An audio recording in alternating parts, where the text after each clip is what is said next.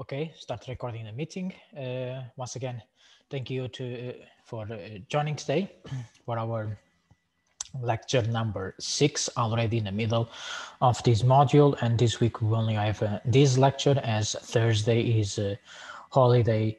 And uh, uh, of course, we will respect that and carry on next week. And today we also have quite heavy slides here to cover one of the central topics within uh, economic geography um, and also uh, within evolutionary thinking in economic uh, uh, geography. The topics of constructing regional advantage, related and unrelated uh, variety. But before that, we have to recap a little bit the previous lecture and um, as the topics are interconnected and also the insights from today are fundamental to what we will discuss uh, towards the end of the month and um, and in the first lecture of June and last one. So then we'll be talking about place-based regional policies uh, and uh, uh strategic thinking within uh, the organization of the economic landscape, uh, which then will open the way to discuss smart specialization so we are embracing now a more uh, regional approach within this model of evolution economic, evolutionary economic geography. And we are, however, we'll keep talking about firm dynamics, industrial dynamics. We are uh, to some extent uh, approaching going more close to regional innovation policies, regional developments uh, in the overall terms, and the development of, uh, of uh, regions and territories in general. Um, however, then I will show you uh, what you can do if you prefer or, or if you sympathize with a more uh, business approach uh, within uh, this topic that I, I, I, have the feeling that you are also sympathetic uh, regarding this, this perspective. So let's first uh, recap the previous lecture that we end up by talking about resilience. And I placed here resilience, resilience uh, within economic geography uh, uh, and regional resilience through the lenses of evolutionary thinking, very much in line with what the, the literature offers to us uh, uh, today and that there is there is one strand of reasoning within this resilience uh, in economic geography that that understands it as avoiding the dependency uh, and, and going beyond the conceptualization of the path dependence as we uh, placed it, as we discussed it before. And they consider this resilience as a way of, as, as, as a, a strategy to move away from these established paths that we discussed that can have positive and negative uh, uh, effects as well, or be initially, initially having positive effects and then eventually for a number of, of reasons, including historical events, can lead to a negative effect and eventually the decline of a firm, of an industry, and of an entire region. However, those that are more, uh, that they are the, the, the, the, the founders of uh, evolutionary economic uh, geography, primarily within the European uh, European uh, approach to economic geography, uh, such as Ron Boschma here, proposed the conceptualization of resilience and I will most say, of course, uh, they will propose that goes more in line with these concepts of evolutionary thinking within economic geography as path dependence and, uh, and lock-ins and uh, spatial agglomerations of uh, economic activity, the clusters.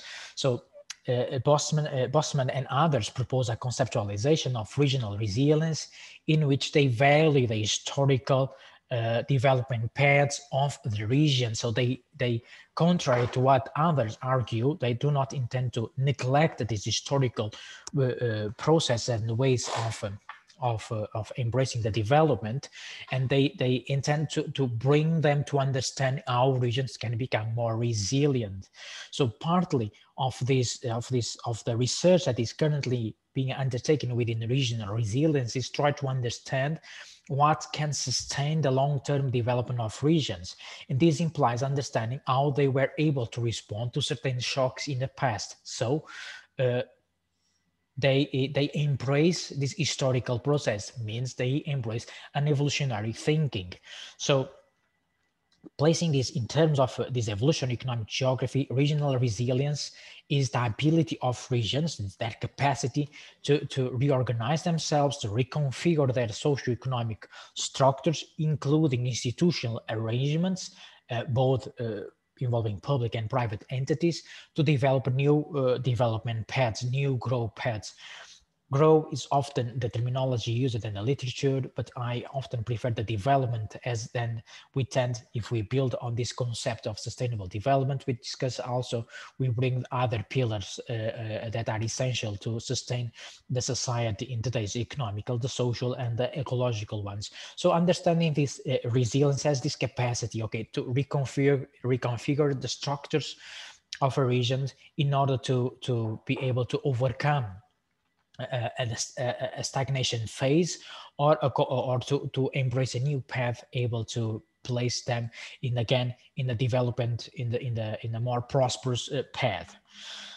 And uh, try now to, to stick to this evolutionary thinking in economic geography. And again this is very much about what is going on in terms of research and ideas also to to inspire you to explore uh, to explore our case studies or also to, to, to call your attention for when you are focusing one specific concept, try not to neglect the, the try not to neglect other concepts and build a line of reasoning in which you try to, to, to justify why you are selecting certain concept and uh, highlight that others exist that could eventually be useful be useful in this or another context but you decided to embrace that one. So you have to and, and it's an important exercise within this model and also in other models you are certainly aware of that that is important to justify this line of reasoning. And again this regional resilience approach within economic geography is very much the result of uh, researchers like me like you and like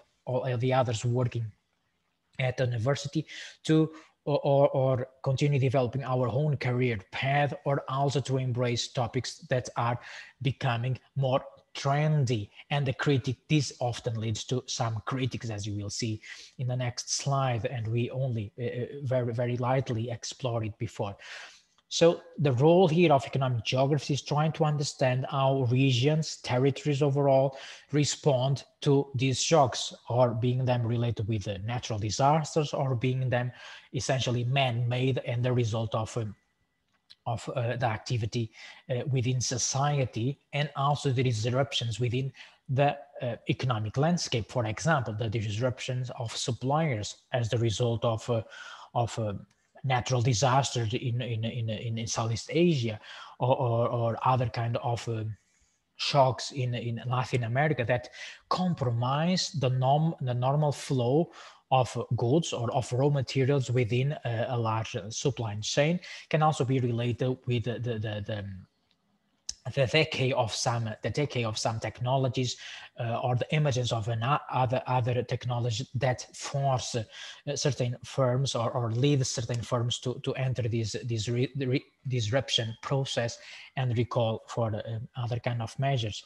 And uh, because we embrace geography and understanding of these uh, uh, uh, dynamics, these flows across territories, part of the, the research that is currently undertaken within regional resilience is also to understand process of uh, deindustrialization or neo-industrialization, how, how or how could certain region uh, uh, completely changed the structure of the industry from the traditional one to a more high-tech uh, industry, for example. So we are talking here about a neo uh, industrialization process or, or how they embrace a completely transformation of the economic landscape.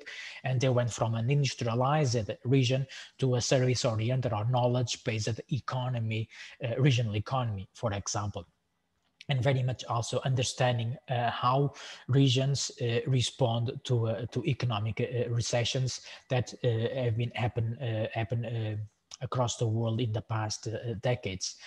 And I, I try here in a completely by embracing a different, a multidisciplinary approach, bringing lessons from other disciplines, try to bring here in, here a, a, parallelism with what's going on, for example, in uh, resilience, uh, in um, flood resilience management within urban areas. If we think about how cities in Europe and elsewhere in the world, in Southeast Asia and in Indonesia, for example, very prone to floods, how they, they embrace resilience. They do not, of course, focus primarily on economic activity, but the economic activity is fundamental for different reasons when they implement their resilience strategies. Hamburg is to some extent a positive example. There are some, some uh, comments in this publication here that places both the positive and the negative aspects of the resilience strategy in Hamburg very close to Kiel. So they, they, the prime goal is to protect, in this case here, I'm just focused on the Hafen city part, protecting the area against floods, but of course they also have in mind solidifying or, or, or preparing uh, preparing the, the economic activities that take place take place in this part of in part of the city. So there is a, a need to to understand resilience. That the lesson the lesson here from this publication and an overall understanding of um, uh, flood protection in urban areas is that eventually the economy is not the prime goal, but in the end, if they are protecting the communities that live there, they are also protecting the economic activities. However, they have a, a, what we can say a pioneer resilience approach in, in, in the urban context.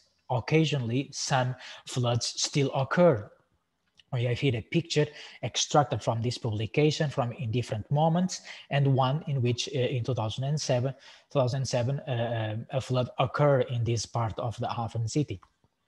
What the publication what these uh, findings tell us is that to embrace resilience will be embraced from a multidisciplinary perspective not only from the planning perspective or economic geography.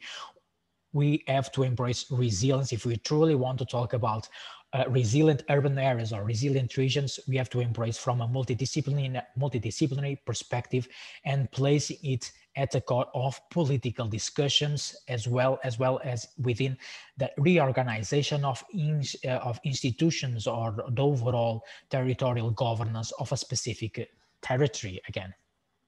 The same if we, if we bring this to a more evolution economic geography approach, Again, resilience is precisely understanding how a region, now the capacity of a region to sustain this long-term development is not only about responding to shocks when they occur, but also preparing the region to be more okay resilience. To be better prepared to respond to respond to these challenges. Eventually learning from the past i may conquer uh, with this evolutionary uh, thinking within a resilience.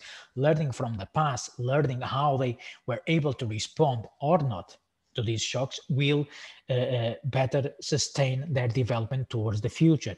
So again, it's this capacity of a region to respond positively to short-term shocks, but in a long-term perspective.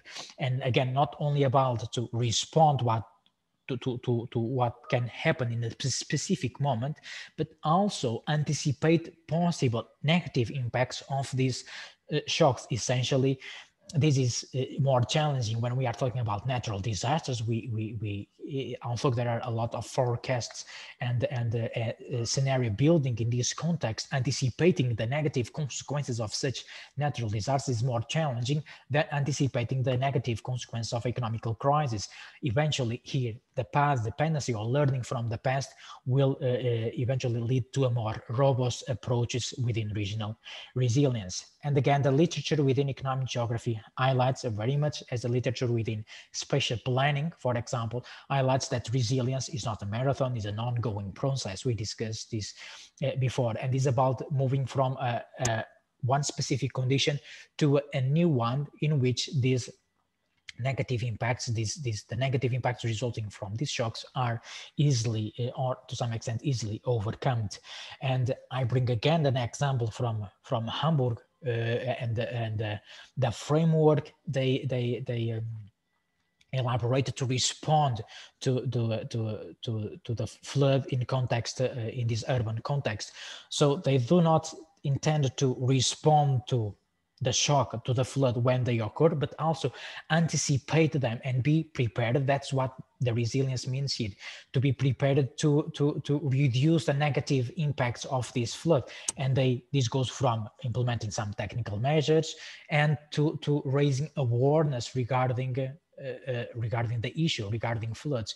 And the curious, curious here is also embracing the uh, the water not as a, as a, as an eminent negative uh, element that exists in the landscape, but but as an asset that can be uh, can be uh, used in favor of the development of the local communities uh, overall. So it's about robustness to reduce this flood probability, for instance, and adapt adaptability of being, being able to, to reduce the consequences, the negative consequences of uh, flooding events. This again implies also uh, uh, uh, the involvement of local communities, public and private stakeholders. The same goes to uh, regional resilience when we are talking about regional resilience uh, eventually within economic crisis, the economic activity will be more uh, will be highly, uh, uh, highly impacted by this economic crisis.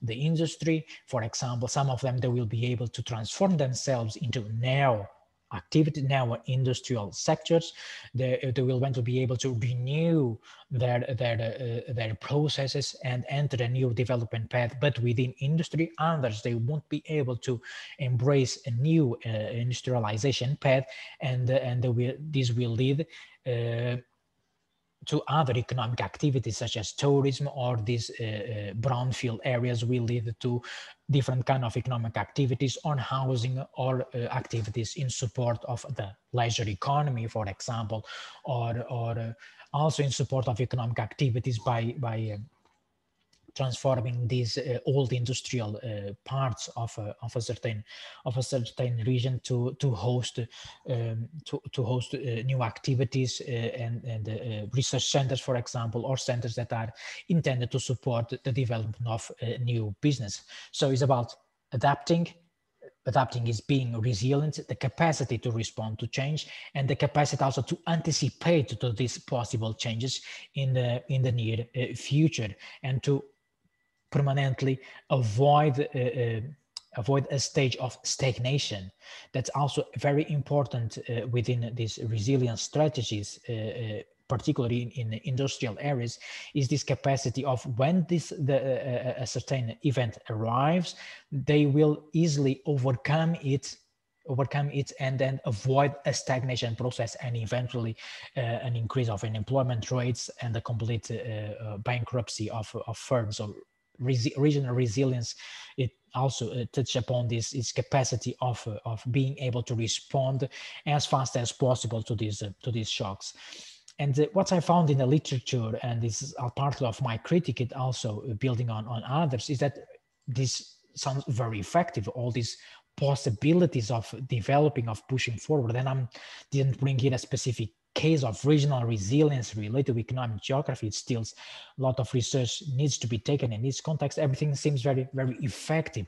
However, there are a number of critics that tell that regional resilience is very much about importing a concept that uh, uh has been gaining some, some track in uh, research within uh, spatial planning, for example, and also within the uh, uh urban policies, but yet it still uh, it's still remaining very much under research within economic geography and it truly impacts upon this organization of the economic landscape or how the, res the resilience concept can support a structural change in, in, in regions, for example. And the critic remains very much in this level that, that is still a very um, immature concept within economic geography that uh, that is not has not been uh, uh, enough explored in interconnection with already solidified concepts within economic geography, such as those we'll explore further, constructing regional advantage, knowledge-based policy platforms, and related and unrelated variety within this knowledge exchange. And and the literature still, the critics pointed out that the current discussions within resi regional resilience, they simply place this concept in their narrative, but basically they are continue touching upon or the uh, or, or, what we discussed earlier the path dependency theory or different uh, uh, stages in which a path can be created. So it's very much more of the same except that they are bringing a concept that is considered a hot concept, a hot topic uh, within um, within the current discussions. And for your further readings, um, I found these uh, two publications very useful. I pointed out them earlier, so we are trying to recap here. And uh, both the lessons lessons from here, a lot of of of, uh, of uh, cases uh, cases of uh, conceptualizations within both, but the overall message is that they, there's in both you see this goal to embrace resilience from an overarching perspective. From a multidisciplinary perspective, they suggest that resilience cannot be achieved without the involvement of local communities or without the involvement of uh, um, of uh, uh, private uh, private stakeholders. So, and there's the need also to build a politic a political discourse around the need of uh, uh, preparing uh, regions to uh, uh, event to possible shocks in the future, and. Uh, lessons a lot of lessons can be drawn from the urban and regional resilience discourse to to a, a, bit and then be transcribed to economic geography. And again that is this this uh, call to understanding uh, regional resilience without neglecting the the social economic conditions of a territory but also the spatial conditions of it. This will eventually help to prepare better against those uh, disasters those shocks that are more natural natural based. And but also those that, that are the result of uh, economic uh, economic uh, activities. And there and there are different reasons why a, a region uh, can implement or should implement uh, a resilience strategy. It can also can be related with disruption of industrialization uh, patterns can be related with out migration for example or demographic changes that can lead to a, to a, um, them to be placed within a lock-in con context and then resilience, regional resilience strategies will help to overcome the negative aspects of these lock-in uh, processes. And uh, basically, this is what I intended to say to recap the, the previous lecture, all these publications, and I invite you to, read, to, to read uh, in particular these uh, chapters I aligned here, and they will uh, provide you very clear explanations of, uh, of this regional resilience concept within economic uh, geography and the relation to path, the path dependency theory. And be aware that part, uh, some researchers, they, they explore the concept aligned with path dependency theory. So summarizing it, that they highlight the historical processes that they suggest we should not neglect this historical process in understanding how a region can become more resilient. And others suggest that to truly embrace resilience, we have to to uh, to to uh, to simply uh, uh, put aside this path dependency theory and embrace a new thinking capable of responding to uh, uh, uh these um, these unforeseen circumstances. And uh, before moving forward, I would like to ask if you have any question, if you would like to to intervene to suggest possible possible avenues of research, if you have one idea that you would like to see explored within this resilience concept. Anything from your side at the moment? So then if not, uh, then we, we carry on. Someone? I just wanted to say, all right. okay, all right then. Um, all fine. So please uh, read the literature. That is, is very important. Uh, that uh, that uh, now you have uh, some, uh, well, probably not free days, not off days, but the, the, at least within this model, you can use these next next two hours um, of Thursday to to catch up with some of the readings. So um, I got the impression that uh, maybe I'm wrong, that uh, some of you are very sympathetic towards this business side of uh, within economic geography. Um, I mean that that uh, I see that you are interested in all these startup dynamics uh, or, or, dynamics within supply chains, for example.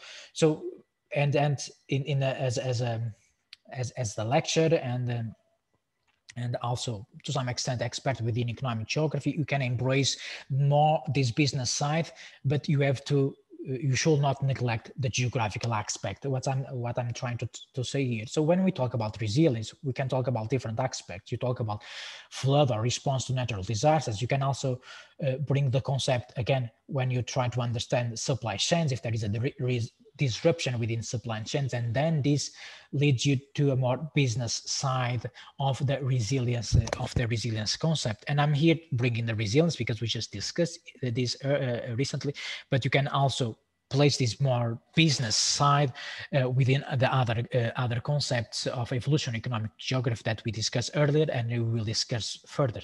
So let's for example and here i'm creating hypotheses. I'm not coming to you with a, with any concrete concrete response to, to anything just just hypothesis. If you if you are sympathetic towards an understanding of uh, supply chains involving uh, uh, technolo technological equipment or involving uh, uh, um, agriculture uh, products or crops, better using the better term.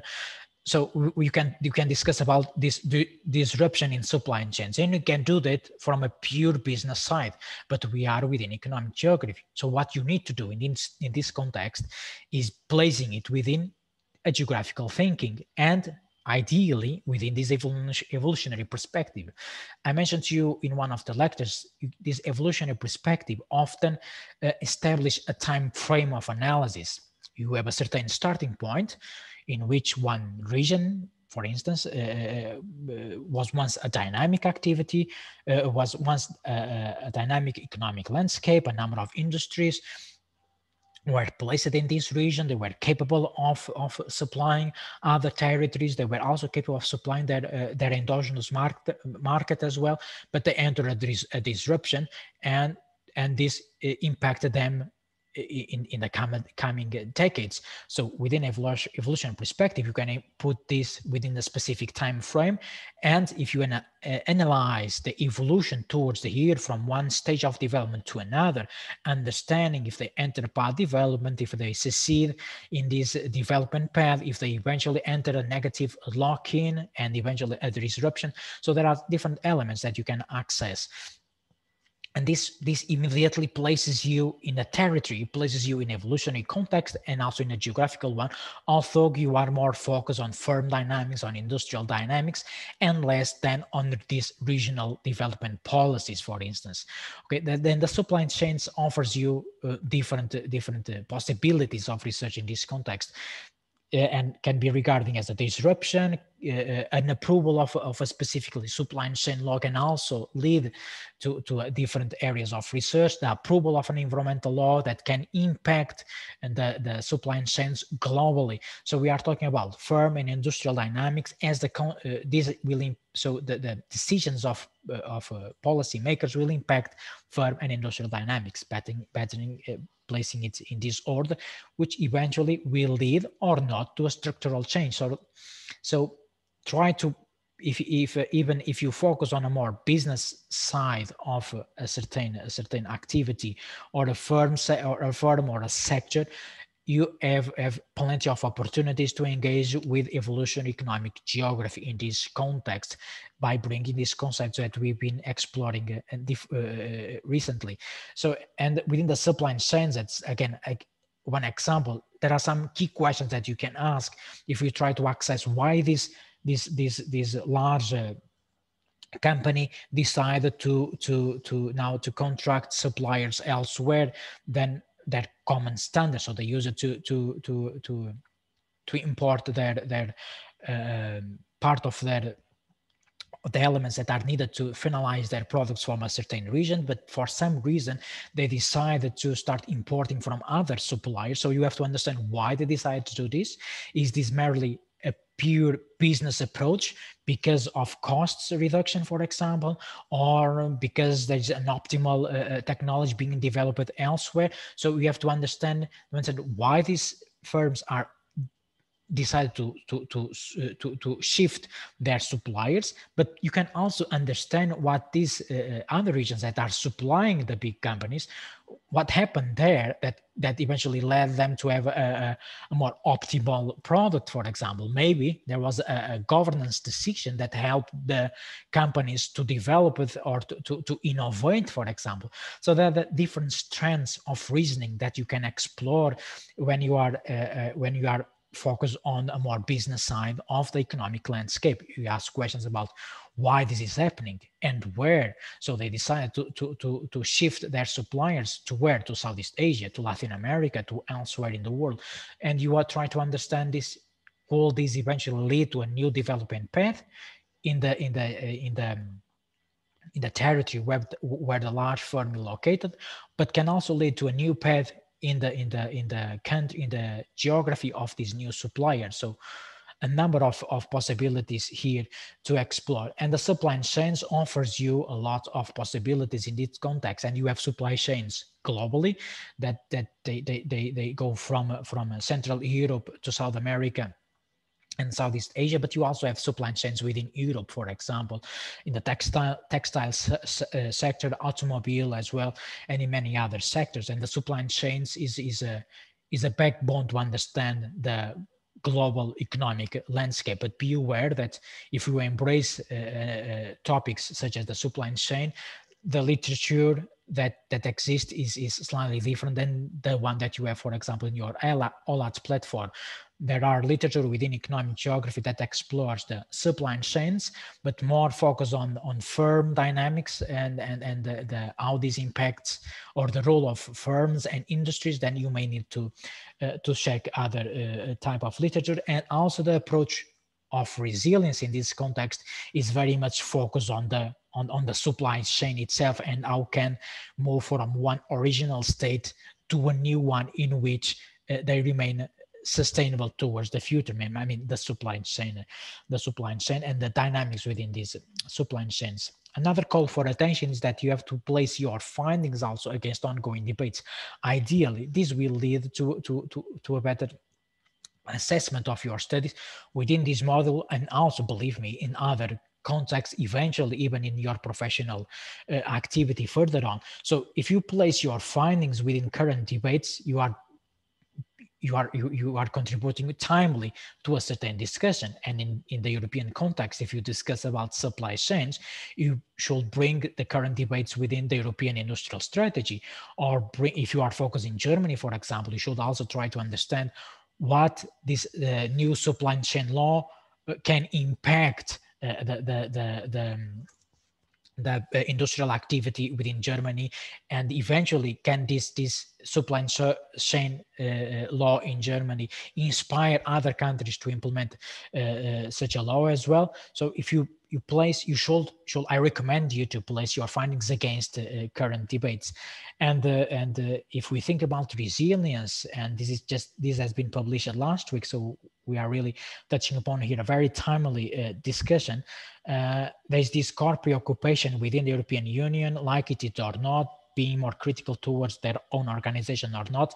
That that intention is to to build a more resilient single market. This means trying to prepare the single market, the, the, the common market within the European member states, and and and uh, prepare it to eventually possible future crises. So trying to make sense here of what we have been just discussing. This can eventually, uh, resilience can be applied to support a structural change in, in, in the completely changing of, of activities or, or, or renewal traditional activities, but essentially to be able to respond to future crises. And interesting, there is an emphasis in this new European industrial strategy to small and medium to small and medium sized enterprises or companies.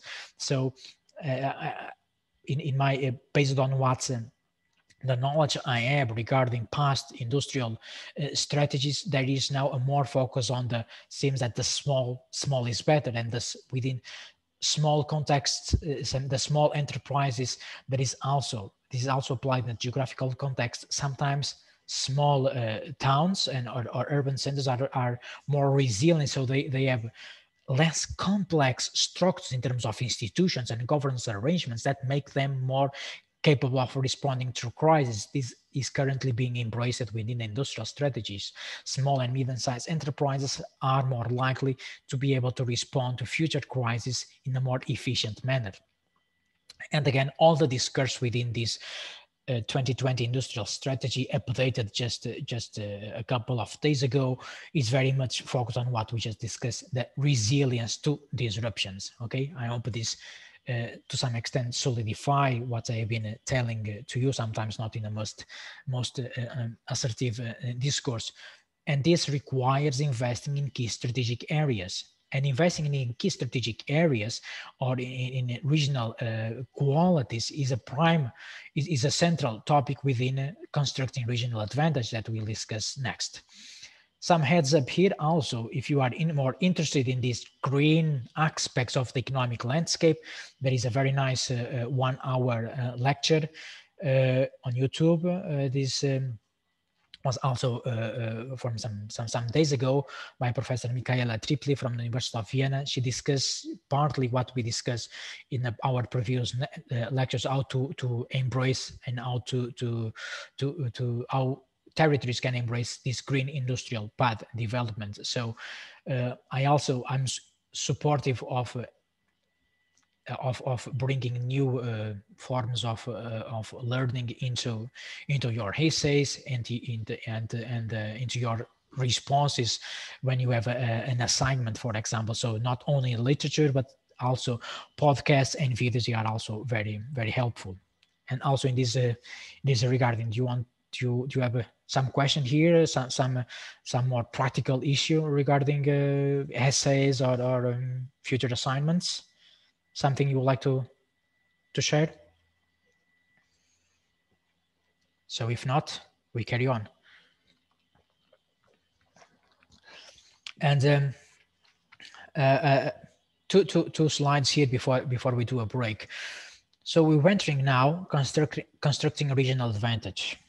And the best way to place this, why we are discussing this concept, another concept within evolution economic geography, and and try to place it again against what everything we have been we have been discussing here. Original resilience path dependency theory lock-ins clusters sustainable development as well. So we this construction regional advantage. In one hand can be understood as as, as a strategy to help regions to overcome uh, stagnation phases, to help them to, to, uh, uh to embrace their uh, endogenous capacities, to overcome uh, a lo negative lock-ins, for instance.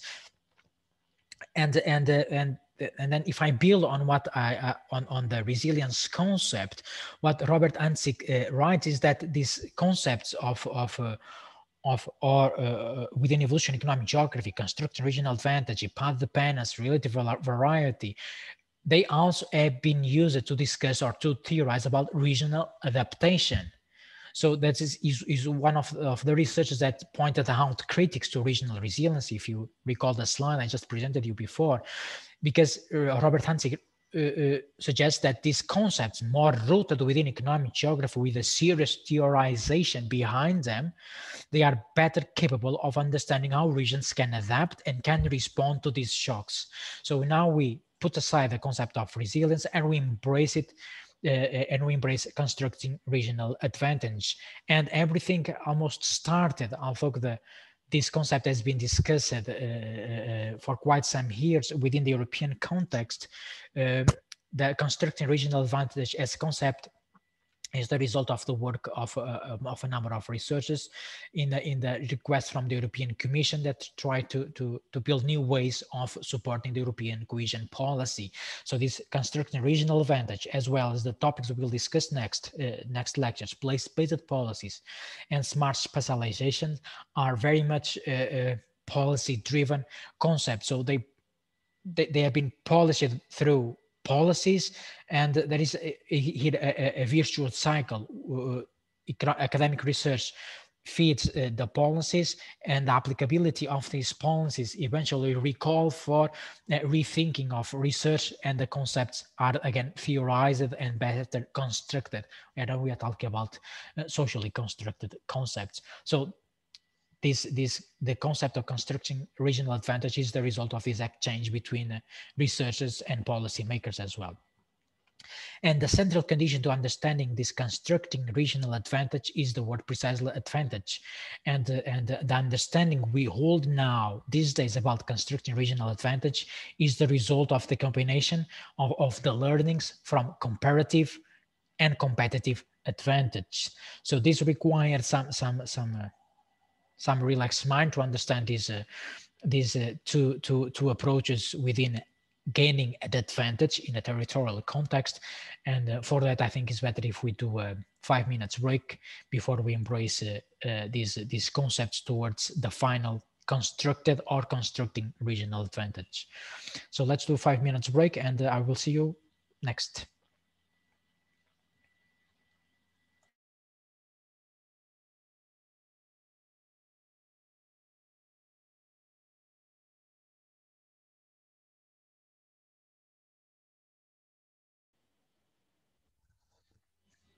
All right, then we are back to fully embrace this uh, this uh, second part, focus on constructing regional advantage and the related concepts.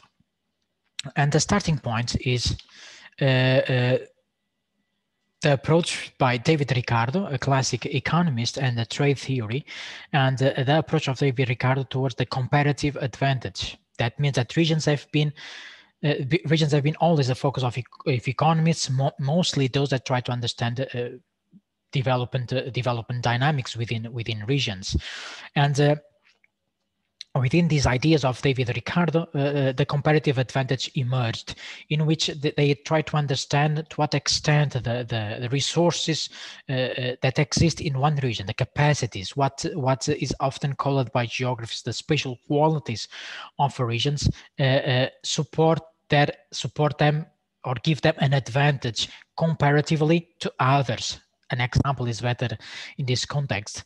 Uh, if we think about uh, our cotton goods, uh, they have a comparative advantage in terms of production uh, or a comparative production advantage in Northwest England. Means this, this geography here, this territory is better equipped, has better capacities or qualities to produce cotton.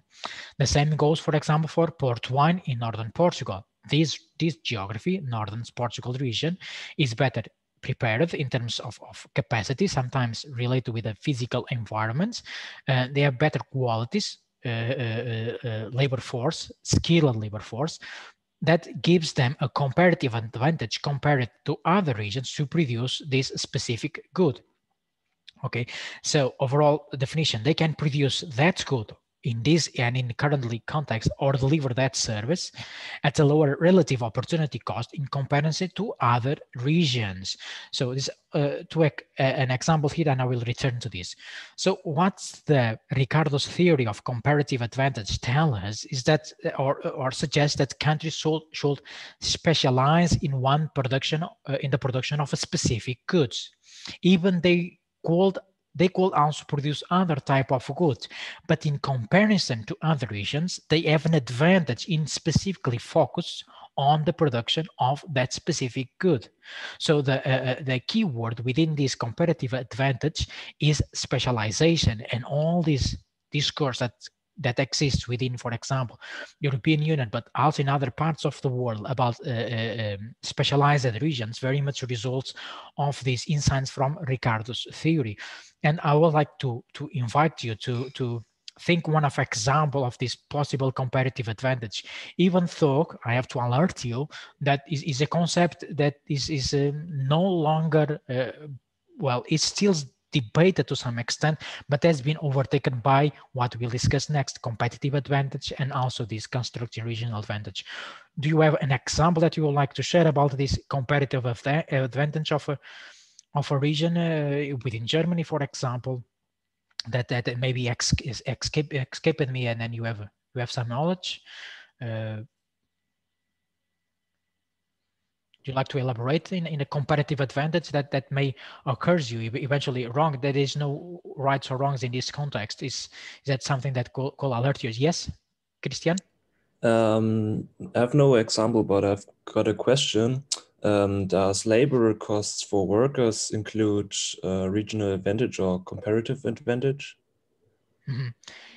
yeah it, it, it, eventually will uh, yeah the, the the labor costs can will will come within this opportunity cost of producing that good or or in this case can lead to a comparative advantage as they have the labor is is uh, uh, will lead them to have a relative opportunity cost in comparison to others but can also uh, play a role in their competitive advantage. And then so we step towards the next concept. By by building on the failures and within research this is and i will return to your to your question here within the uh, research uh, many times there are the critics towards one concept or the failures of that concept lead to uh, the emergence of others and then in uh, uh, based on this on this uh, some some partly of the failures of of of the comparative advantage concept, the competitive advantage emerged. And in this context, the role of labor, being labor intensive, intensive goods, and uh, and the the, the uh, the availability of labor and then the costs of labor lead to a competitive advantage of regions. So they do play a role in bringing an advantage to a regional context. I hope, hope this to some extent answers your question. Uh, uh, a true uh, in-depth analysis this requires an analysis of the labor costs itself within economic geography.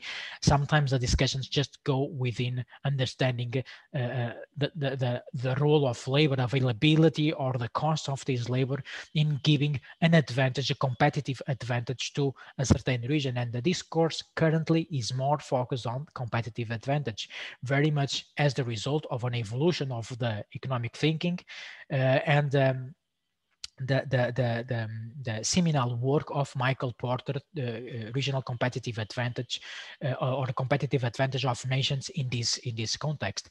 So, so from a comparative advantage, there was an evolution of discourse in terms of regional development and advantage of regions towards this competitive advantage. So, and, and uh, uh, what what happens in this context is that that countries start to understanding they have an advantage because they use more intensive labor, which helps helps them to to uh, have a more favorably favorable position towards exportations.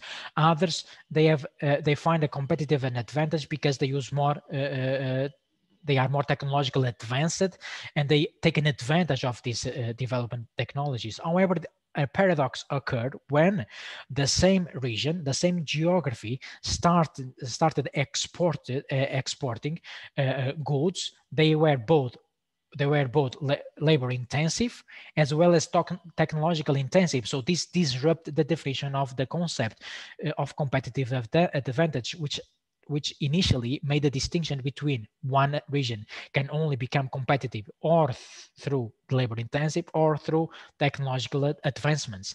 However, because the world continues in evolution, the, the, the flows of knowledge, the flows of the development of technologies, and, and because of the inexistence of, of uh, borders in this context, these same territories they start gaining advantage in both aspects labor and technological uh, uh and technological uh, uh, advancements as well. And in this context also the, the relationship between firms which have been neglected earlier uh, in, in the literature they start also playing in a role in giving a more competitive advantage to to industries. So the, the, the discourse about understanding the interfirm relationships and the importance of the, the uh, um, local markets and not only the distant markets in the competitiveness uh, discourse also gain some traction in this in this context. So the the the there was an evolution of discourse towards an understanding of competitiveness more uh, be, behind a, position of firms towards exportation, but also understanding that the internal market also plays a role in giving them an advantage. So from a global competitive advantage discourse, we start uh, uh, um, uh, uh within economic geography, there was also uh, an understanding that this competitiveness also occurs within the say within one region because of these interfirm relationships, and also within uh, uh and across across regions within the same uh, the same geography, the same territory, and and uh, in essence, trying to summarize both the competitive advantage and the competitive advantage, both the, the focus was more or in labor intensive or technologically intensive activities. And the advantage here is that, that, that what is the advantage is giving to these to these regions a capacity to produce something in a way that can not that easily be copied by others okay this was this was more more, more uh, uh, easy to be explained if we were, for example, in the beginning of the 80s. But now we, we are in another we are in another century, and there the digital revolution impacted and disrupted all these supply chains. So it's, it's very tricky to explain the, the, the usefulness of these two concepts, comparative advantage and competitive advantage, in isolated manner, because everything is very much interlinked and countries or regions, they still have a competitive advantage. It's still uh, more beneficial for northern, Port- uh, northern Portugal, the valley, the Douro Valley, to produce port wine in comparison to a region in Australia. They still have this comparative advantage. Eventually, because the labor has some skills in, in collecting the grapes, for example, gives them a competitive advantage. So what I'm telling you here is that currently, to truly understand the economic uh, uh, landscape, the dynamics in economic landscape, we should not neglect concepts and understanding the advantage again the advantage here in the sense that what these concepts can tell us uh, uh, regarding uh, this regional advantage overall and not only comparative comparatively or competitively However, still there is still a distinction in the literature that that clearly uh, uh, places both comparative and competitive focus on labor intensive and technological intensive, and they pointed out the failures of both by suggesting that they were not capable of embracing or dealing with innovation as the result of knowledge exchanges. And here now I bring two different, so I uh, two different variables, knowledge and innovation, and then we'll stick to them towards the end of the lecture.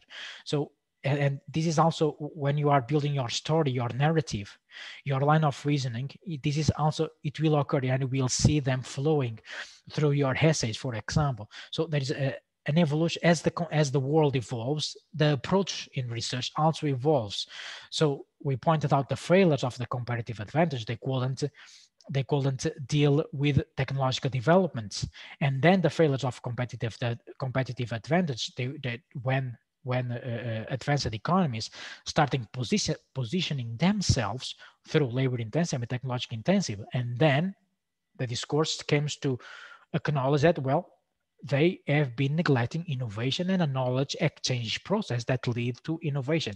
And then the concept of constructed advantage emerge within the literature and within policy debates as well. And, and basically the constructing advantage tries to embrace uh, uh, uh, these new dynamics, the new dynamics on, of innovation and use them to exploit, to explore, to, to, to advance or to pave the way to new development paths, to economic growth in general. So, so innovation and knowledge are placed as the central concepts within constructed advantage. Um, and and and the, the constructed advantage to truly understand it, it implies an overarching understanding as very much as in other concepts such as the one the resilience. We cannot truly talk about constructing a regional advantage within one region uh, by neglecting sectors of society. So to talk about regional advantage, we have to focus on economic activities. We have to, to, to understand the interfirm interactions. We have to understand how knowledge uh, uh, across, across firms is integrated in different process, to what extent this knowledge exchange lead to new innovation processes, how knowledge impacts uh, impacts business networks, for example, make them stronger, lead to new kind of new new business activities, can can lead to to to different to the creation of the uh, new business models you know. So it's important to understand how knowledge the, the role of knowledge in leading to innovation and to solidify paths or creating new development paths. It's also important to understand the governance context is is are the institutions in that region favoring innovation, for, for example? Are the, the policymakers aware that innovation plays a role in economic development as well? Are they interested in positioning the region in an internationally competitive arena, for example? These elements are fundamental, and, and, and the, the literature suggests that to truly build, to truly construct an advantage in the region, these dimensions cannot be neglected. And also the quality of the infrastructures are these regions equipped with universities, research centers? Do they have enough funding to continue supporting uh, supporting research that eventually will lead to, to knowledge exchanges across these institutions? Uh, the exchange between, uh, of knowledge between uh, uh, between research centers, universities, and the private sector, firms, and industrial sectors as well, and also understanding the role of of more more more, uh, more intangible elements coming from the cultural background of the community to what extent that approach towards entrepreneurship for example impact the development of new business models uh, or impact the development of entrepreneurship. And this we discussed that entrepreneurship in this context very much is influenced by po existing policies coming from the governance structures but also by the by the attitude by the approach of the owner on uh, entrepreneurs. So again an overarching concept to understand regional advantage we have to embrace these different dimensions within society so try to come with a definition construct advantage is a strategic policy perspective of practical use of business firms, associations, academics, and policymakers. So, okay, we bring these elements of the economic landscape together, and this is about optimizing global knowledge flows. So, we're talking about knowledge flows, and we are talking.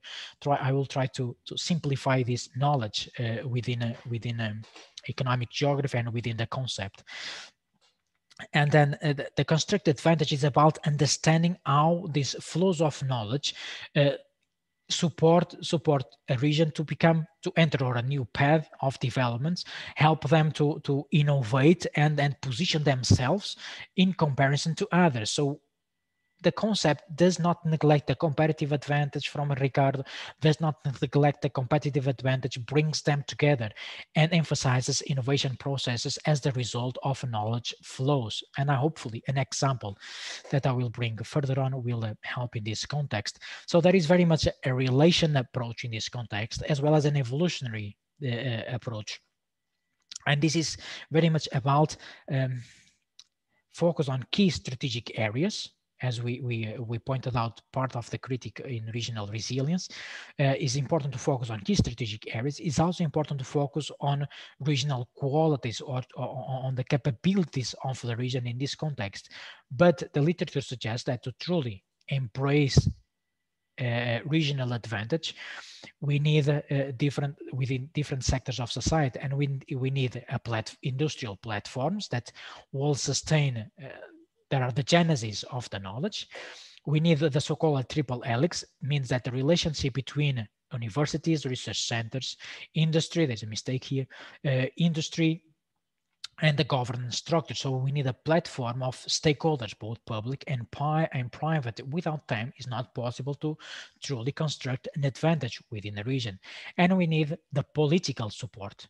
Uh, including here some uh, uh, the, the, the, um, the policy making perspectives that involve all the support towards economy, for example, supporting investment attraction, supporting talent attraction, we discussed this earlier, and improving the infrastructure, which will then lead to improving the quality of, of, of, of the offers, of the assets of this region. Okay, so so in comparison to, to in comparison to competitive advantage and a comparative advantage here the geography, the territory, the advantage of this territory, the assets, as well as the narratives resulting from these, these uh, more cultural aspects of the community, the narratives that exist towards the advantage of, of uh, creating our own business, for example, or, or or, or, or, the failures of embracing a business, all of these more intangible elements, they play a role in constructing regional advantage. So we have a business side perspective and we have clearly an, a, a geographical perspective when we discuss this, this concept. And uh, the regional advantage as a concept emphasizes, uh, puts places an emphasis on the on the advantage of uh, of uh, of the region uh, and suggest that this advantage does not emerge emerge spontaneously, uh, even if they are within the cluster. They are the, the advantage results from from a, a proactive partnership, proactive collaborations, proactive exchange of knowledge involving different actors, public and private. And here the private I place the firms, the business sector, okay, the industrial sector. And and the constructing regional advantages only exists uh, uh, exist because of the different stimulus that that that uh, are uh, that exist around the knowledge of uh, uh, the flow of knowledge involving these different actors and the way they interact with each other. And in this context, uh, there are two dimensions on this on this on this uh, interactive learning process and knowledge flows. One that is related means that the knowledge are, are have some similarities. Uh, um, that this related knowledge if we focus on, on the on the specific and industrial activity that exchanges knowledge with other kind of uh, of, of industrial in which some of the producing processes or some of the raw materials are the are similar. So they take an advantage from the way they know how to transform certain certain products or place them in the market. And there is other uh, forms of, uh, of, of knowledge exchange that are more unrelated and and uh, and eventually are less implicit. Uh, so is, is for example within the region you will have uh, uh, activities that are related to to poultry for example or to to to cattle production and eventually we'll also have activities that are more related to to to to not necessarily heavy engineering, but they embrace other activities that are completely not related to the to agriculture products, for instance. Yet they can still exchange some knowledge in a way that can lead to or new uh, branches of activities, new business models uh, within that region. So the problem here in this context is very difficult to come up with a with a concrete example it's still very much a theoretical discussion there are examples but i in my perspective and, and based on the research i have conducted in this topic specifically they remain short in terms of providing you concrete examples of how unrelated activities those that are in which in which the, the, the, mechanisms, the, the, the routines that exist are completely different, how they can learn from each other. Yet the concept of unrelated variety suggests that they can still learn from each other in a way that can support this advantage of, uh, of a region. And, uh, and uh, everything is about or specialization or ways of, uh, uh, of how specialization or diversification of activities lead to innovation and eventually grow. So again, as in the other concepts, there are part, uh, some researchers suggest that specialized labor is the responsible to is the, is the prime responsible to innovation process and eventually to grow. Others suggest that diversify the economic structures, diversify the regional structures will lead more intensively to innovation and grow. Again, what the uh, uh, concept of reconstructing regional advantage suggests is that both are to be accounted for when we discuss how to build how to construct a regional advantage in a how to construct an advantage in one region. Both specialized labor is needed different types of knowledge are needed. Diversity uh, within the economic landscape is also needed because triggers new ideas and and leads to new uh, uh, uh needs to new flows of knowledge or knowledge spillovers as commonly defined in this in this context so to truly support regional development, what the concept tells us that we need, uh, uh, we should not neglect regional specialization, more specific with tacit knowledge. I will tell you about this. And uh, we also need diversity. That's the, the, the, the genesis of the variety uh, uh within the concept of related and unrelated variety is regarding with this diversity. So we need specialization and diversity to reach uh, uh, uh to, to support regional development in a specific territory. I'm uh, looking forward to reach the example so we can, uh, we can better grasp these elements. So we talk about innovation, regional development uh, or regional growth, if you will, in which knowledge, knowledge plays a role. And we make here a distinction between the, uh, there are different types or the, the, the, conceptualization of the constructing regional advantage makes a distinction between different types of knowledge. Not only explicit knowledge, this knowledge that results from, from, from an understanding of processes, results from, from uh, written documents, but also the tacit, tacit knowledge, this knowledge that is the result of the experience, the expertise of, uh, of in this context of labor force of ourselves me and you in the in the context of the society. Results of of these intangible values intangible assets the values the attitudes attitudes to entrepreneurship for example uh, capacity of dealing uh, dealing with an idea is, is in many in many in many cultures that are that are we can tell okay you cannot measure that if, if one if one community is full of ideas how, how you assess this is through or new businesses, entrepreneurship, uh, the registration we talk about is also registration of patents, for example. So there's there's a way still to understanding how they deal with this idea by then assessing how these ideas uh, led to uh, uh new business models or new new startups, for example, and uh, and uh, both in this context, construction regional advantage brings this specialization brings the diversity from unrelated variety, brings different types of knowledge together to understanding how to uh, to to to construct to develop this advantage within within a region.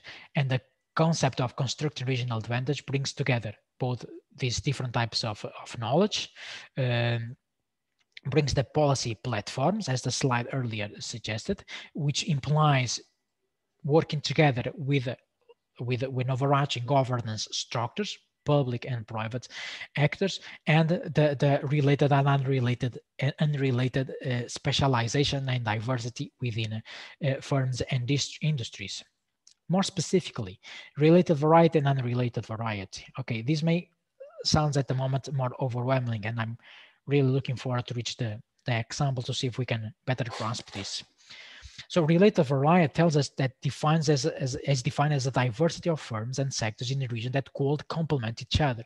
It's very much uh, uh, uh, uh um, the definition is, is, is is, is, implicit in the term itself. So it's related knowledge that complements each other. There's, there are some, some, some similarities in this in this in the way or they in the way they they they they embrace the industrial process, the production process or the distribution concept, the dimensions of the economic landscape. And, and uh, within related variety, there are uh, um, exchanges that complement each other. The, the exchange of knowledge between firms or between industrial sectors lead, complement each other and eventually lead to, to or new kind of activities or to the renewal of activities within that, that sector and in both, the idea is that this, this related variety will sustain uh, uh, will help to sustain uh, a region in the long term and make them gain an advantage in comparison to others. The unrelated variety is is more challenging to grasp, and there is no one size fitting all and there is no one car definition for unrelated variety. And basically is is basically about exchange of knowledge. So suggest the definition of unrelated variety. Tells us that that still exchange of knowledge exists still uh, exist within a region although they are not directly related. Well is simply the opposite of related variety.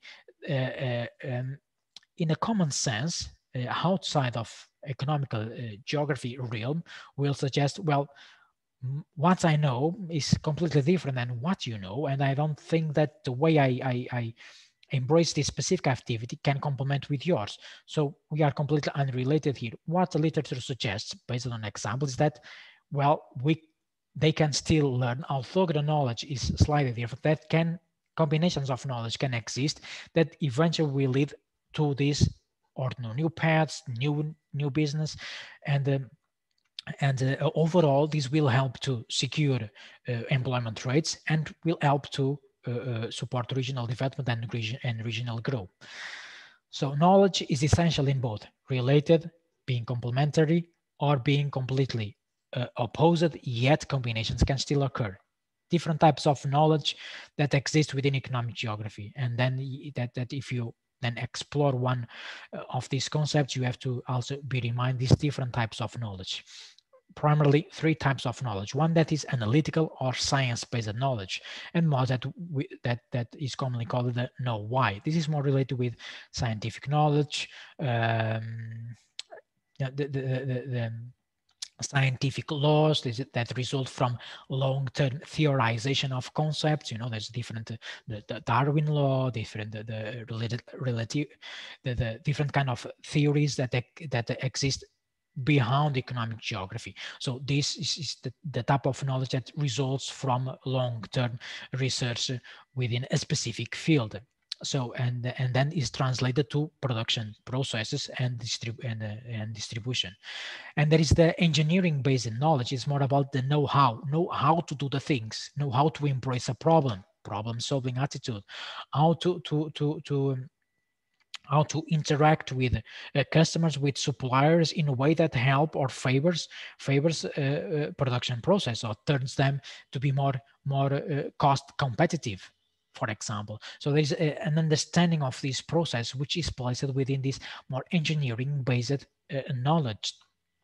And there is then the, the arts-based concept that goes close with this tacit knowledge that we know, uh, that we discussed earlier, is the know who. Know who he's able to deal with his specific task uh, is about uh, is, is about more intangible and, and and symbolical elements that to some extent are also useful in the in the within economic landscape because they can lead to to new ideas. They impact the creativity process and the creativity process although it requires these institutions and governance support can lead to uh, to innovation and innovation leads to new technologies. Eventual new technology will lead to and to these regions to enter a development a development path However, this art base that can be more connected with the tacit knowledge, the knowledge that we all know about how to, to, to fix some specific issues in our household or around ourselves, it ours it's also the result of, of, of a lot of experimentation. So there is still a linkage between partly or the applicability of a scientific knowledge of uh, or, or partly of engineering knowledge. So they should also be placed in an overarching perspective if you focus on one, you shall not neglect the other because one can influence the other. Also, the know-who will certainly, and, and, and this capacity, eh, this capacity of experimenting, of, of, uh, of, of bringing uh, uh, our own, own, own um, own, assets and, and, uh, and ideas how to deal with an issue can also and certainly influence the scientific discovery and scientific uh, uh, scientific processes that are placed within the scientific knowledge. So we reach here uh, an example and and uh, I'm going through I will go through the example and then I will uh, I will come to you and ask if you have questions in this in this in this concept. So this is the result of my own research. I focus in, uh, I take the concept of constructing regional advantage, related and unrelated variety, and I place it in, in the Iberian Peninsula, and more specifically in the cross-border area, Northern Portugal and Galicia. So Northern Portugal within Portugal as a country and Northern Galicia, uh, autonomous community of Spain. Uh, just to position yourselves within geographical in geographical context, the main cities in northern Portugal are uh, Porto, Braga, and Guimarães, and the largest cities in a, in a, in Galicia are Coruña, Santiago de Compostela, a very popular tourism destination, Lugo, and Vigo, a port city with an intensive activity, industrial activity. So this was a pioneer study which brings this constructing regional advantage to a region that is is we call is a soft space. So this is although there is an institution in charge in formal uh, formally in charge of this territory uh, they both they, had, they have different language. They are they they are uh, uh, embraced by different governance contexts. They have different kind of autonomous in terms of decision making and policy making capacities. However, as part of the European Union uh, cohesion policy, there is an institution in charge of the regional dynamics within this territory, which justify the approach I taken to understand how we can think, how we can construct regional advantage within within this common territory and in parts they are only separated by a natural element by a river. Uh, we have northern portugal in this side and galicia in this in, uh, in, the, in the other side. So how we can think uh, about a regional advantage in this cross-border area and how these institutions okay i'm then i try to place my findings within an institutional uh, with, with the ongoing debates and an institutional uh, uh, domain how we can think about this regional advantage when we have a, a specific um, a specific uh, institutional background. So based on case study work, which is very important to underline here, which included in-depth uh, interviewing as well as content analysis of policy documents coming from different uh, uh, different domains. National government of portugal national government spain regional governments of uh, of galicia. There is no regional government in portugal so there is already an institutional difference in this context.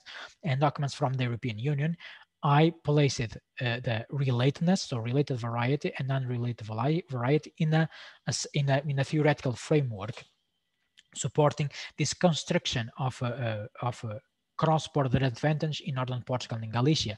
And I try to explore the different types of knowledge we just discussed within this specific context and what kind of policy platforms exist that can that can hinder or facilitate constructing this this uh, uh, related this uh, this advantage within the related uh, variety I bring the diversity of firms that exist within uh, within this region. Some of them they share competencies. Others often they, they they they are competitors competitors within that specific specific region, and they they altogether they try to position themselves in the market. And uh, there is uh, there exists also a number of unrelated variety. Uh, uh there is uh, different asymmetrical um, developments within the region. There are different different uh, uh, different measures also also to, to to to assess the economic performance of both regions. So there's a number of disparities on how they embrace all economic developments how they embrace uh, employment uh, how they deal with uh, with uh, dynamics in in the industrial context. So elements that we will come to to conclude where they are completely disparate we cannot work together. So i tr we try to i try to bring them in the this within the unrelated variety concept and then i explore the, the, the scientific basis, try to identify what kind of uh, uh, universities, if they are more research oriented, if they are more oriented towards towards practice, what kind of, of subjects they explore. I try to understand more the, influence of these context specific specific activities that exist, what type of, of uh, industries these uh, exist in both regions, and also try to grasp a little bit these cultural and community slash community elements that exist that can lead that can support the development that, that can can lead to constructing a cross-border advantage and i try to understand what kind of policy platforms that can can help in this context government, national governments, regional governments, European uh, European institutions, although with uh, they although they lack decision-making capacity in terms of bringing about some change.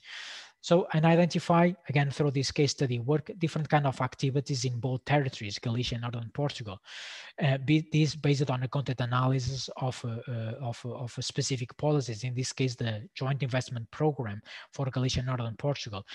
While Galicia is focused on fishing and Northern Portugal in the sea economy, I try to build some cross-border relatedness. Uh, um, you can find different parallelism in terms of knowledge also knowing knowing uh, uh, uh, the activity of fishing is certainly very related with activities that you can develop within the sea within the, the, the within the sea economy eventually all together they can position the region altogether as Galicia, Northern Portugal, as a single region in sea-oriented activities.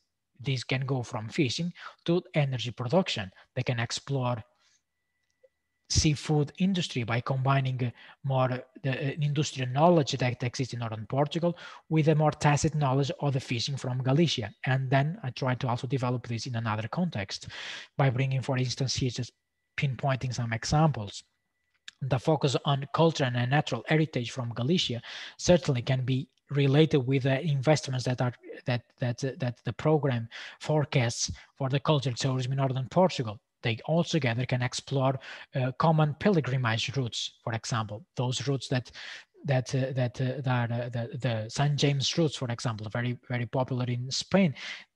Can also think about them by starting by starting in in northern Portugal, for example. So they can combine a number of activities that will help to enhance that potentials, the culture and, and, natural heritage of Galicia with the potential of cultural tourism in northern Portugal. I hope this is uh, uh, making some sense. What's happened here, and it also happens in other regions, that many of these of these focus areas or primary economic domains, strategic areas of these territories, they are the result of, of uh, different kind of discourses. Uh, and to some extent, the critic here is that while Galicia somehow is more uh, uh embraces this uh, more tacit knowledge approach by calling it fishing, the Northern Portugal authorities, while contributing to this overall document, decided to, to call it something different. And in the end, is about fishing, but maybe not only capturing fish from the sea, but complementary activities. So they call it the sea economy. The number of activities that can be built around fishing. Eventually, uh, there, there, are a number of, uh, of uh, a number of activities that are not only related with fishing, but uh, but uh, but uh, fishing is fundamental to support to support them, and others related with the the the the, the potentials in terms of of energy production or green biotechnology can be combined with the investments that are that are taking place within the footwear, the textile and footwear industry in northern Portugal, and eventually all together, if they combine the knowledge, if they exchange knowledge uh, uh, between this type of industries, they can position themselves in a tech, uh, in a, in a te technical textile oriented region by investing in tech, in techn technical sportswear and workwear and then build a, a regional advantage. So a summary, so I developed this theoretical framework in the beginning through the case study work, and I bring and I bring the insights from from the from the interviewees and also from the policy documents, trying to understand the basis or the pillars of this cross-border advantage in Galicia, northern Portugal. And so I put Uh, uh, the related variety, a number of activities that, that can that are more prone to exchange knowledge, and also others in which uh, it doesn't seem very, very, very implicit that they can exchange knowledge, such as between science and textile, and trying to argue that they can still uh, knowledge combinations of knowledge they can still occur in the way that will support the, uh, the will support the, the, an advantage of the region.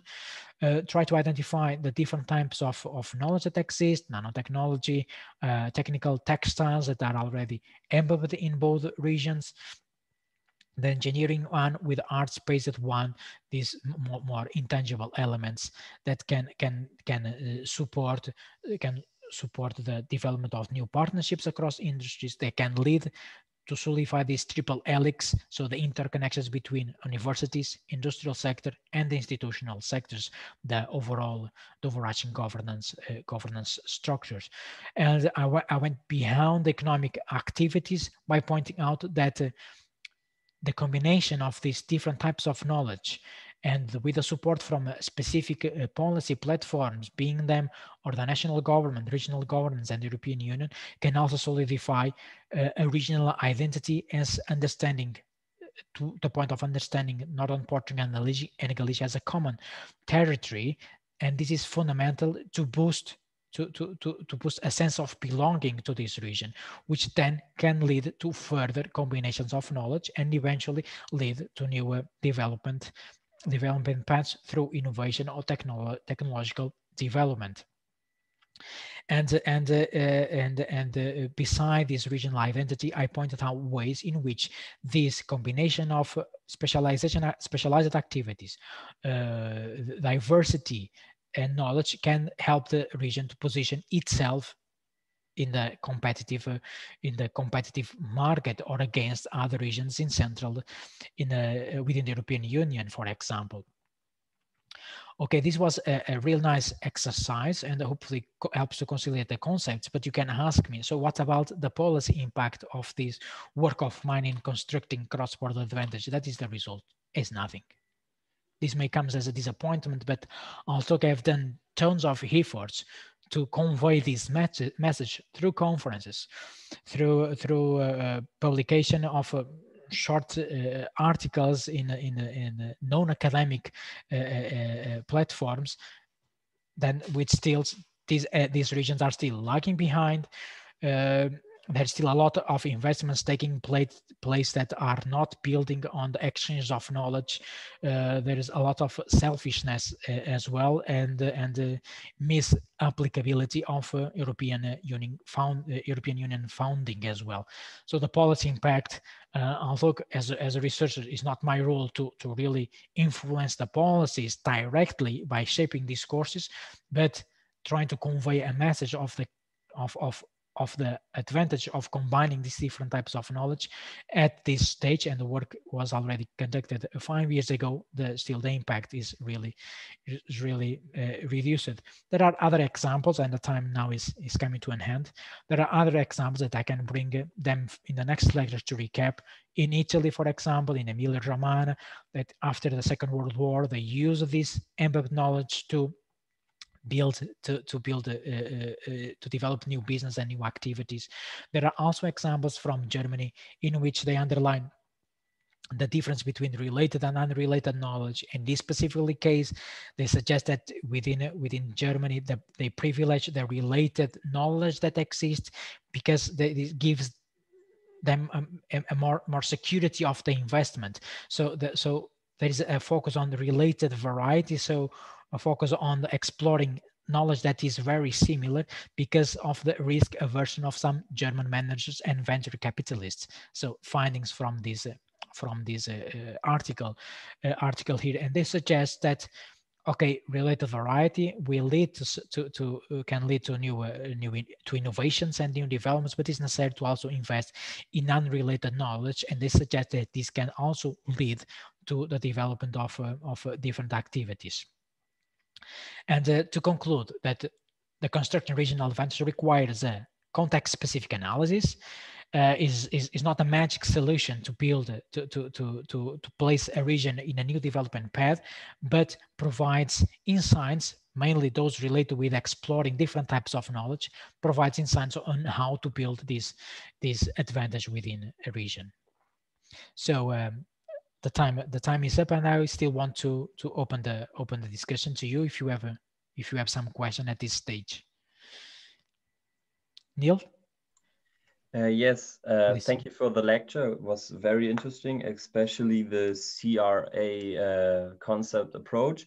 But uh, um, and the framework you did in 2015 is very uh, in, um, interesting to look into. But I was uh, wondering, you only presented us framework and sort of um, words and analysis. But do you have concrete statistical or map-based um, images or diagrams that can present the whole um, advantage of the uh, northern Portugal and uh, northern Spain region in a more mm-hmm. like geographic way. I was it would be very interesting mm-hmm. to see like a map-based approach to con uh, to grasp these uh, advantage. Mm-hmm. Yeah, I, I don't have is not included in that uh, in that uh, publication of mine from 20, 2015. I don't have beside the beside the the, uh, the, this this map, which doesn't tell you anything about this advantage. Uh, I don't have, but I can bring uh, I can bring something further, or how I envisioning, for example, this specific uh, sub-region here of how I, envisioning the exchange with a with a with a with a Galicia. So I can I can place. Uh, place that findings in more geographical context. It is very important to do that, and it's often neglected within economic geography, bringing this more uh, placing your findings in a in a in the map to translate what I'm talking talking about in terms of this knowledge. I don't have at the moment, but I can bring it uh, one or two examples in the next lecture. Focus specifically, or for example, on on textile, technical textile, which I domin I, I I have a better knowledge and identify you where one research institution is currently doing research that supports a number of technical of, of uh, textile industries in the region. Then i can try to underline these flows of knowledge that exist. Yeah i will bring that in the in there as a recap of the next lecture next tuesday. thank you. Okay? Thank you but be aware that also in this in these other publications and this is a very is, is a good a good point that neil pointed out here that you see, this is a more quantitative work. This one focus on related and unrelated variety in german. And then you will find very dense tables in terms of uh, a quantita quantitative assessment which is not my uh, i'm not that comfortable with the quantitative approach. I'm a qualitative researcher but they also neglect mapping uh, mapping the possible knowledge exchanges across uh, uh, across Germany that can lead to these radical innovations in this context. It's very difficult to find such such examples in within economic geography, I must say.